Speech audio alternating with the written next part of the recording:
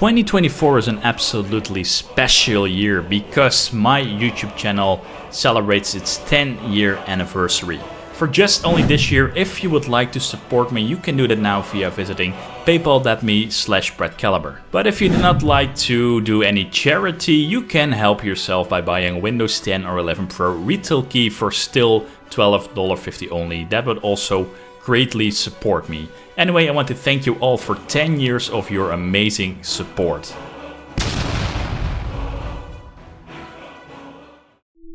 Hi everyone, welcome to this special video.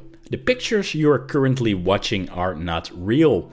These are AI generated and the cool thing is you can do it now yourself if you have a really good computer because I did create these pictures myself these are created with Flux, with stable diffusion. It's not the same as Midjourney or uh, DALL-E from ChatGPT.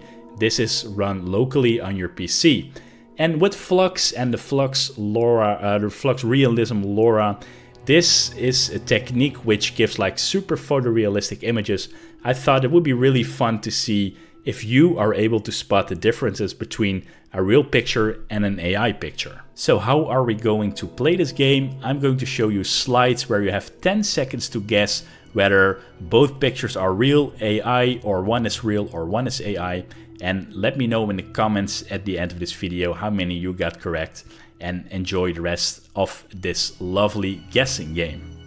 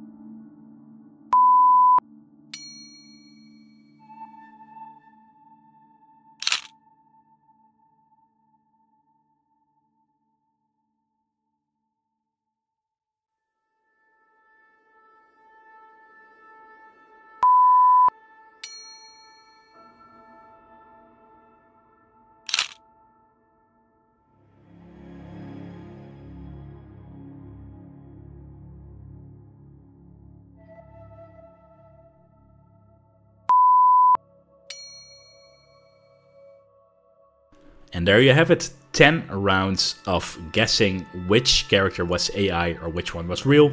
How many did you have correct? Let me know that in the comments. And for the rest of the video, I'm going to show you my other renders I did do in Flux for creating this super realistic human images. If you're interested as well in learning how to use this model to generate photorealism, uh, let me know, maybe I can create a tutorial as well for this. So enjoy the rest of this video with only photo photorealistic images I did create via Flux.